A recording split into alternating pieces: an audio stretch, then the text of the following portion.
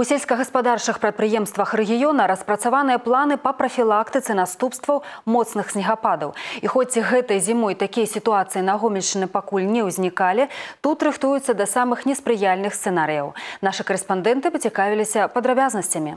Такога надвор'я чакалі з самага пачатку каляндарнай зімы. Урэшце, калі ў студзені на тэрмометры стабільны плюс, гэта анамальная з'ява. Дарэчы, па інфармацыі гомельскай абласной жыллёва-камунальнай гаспадаркі, нейкіх значных праблем у рабоце галіны маразы не стварылі. Авары, якія адзначаліся на сетках цепла і водазабеспячэння, былі рэдкімі і дробнымі. Для іх ліквідацыі хапала максімум некалькі гадзін. У выніку моцных снегападаў значныя праблемы могуць узнікнуць на сельскагаспадарчых прадпрыемствах, асабліва на старых пабудовах. Іх канструктыўныя асаблівасці могуць прывесці да разбурэння дахаў. І хоць сёлета такіх выпадкаў не было, сітуацыя знаходзіцца на пастаянным кантролі. Уксу Пурыцкая за кожным будынкам замацавалі спецыялісты, які адказвае за яго бяспеку. Ежегодно проводится контроль, ремонт текущий, капитальный, ну, в зависимости уже от самого здания, года, из года постройки и технической документации. Бадай найбольш значную небяспеку моцныя снегапады прадстаўляюць для цяплічных гаспадарак. Пры неспрыяльным надвор'і значныя аб'ёмы снегу могуць зламаць усю пабудову, аднавіць якую будзе ўжо немагчыма. На шчасце, у апошнія гады такіх сітуацый на гомельшчыне не было. Што тычыцца сучасных рэалій, то пакуль пласт снегу на дахах невялікі і небяспекі не прадстаўляе. Калі сітуацыя пагоршыцца, у сельгаспрадпрыемствах задзейнічаюць спецыяльна створаныя брыгады супрацоўнікаў, якія маюць допуск для работы на вышине.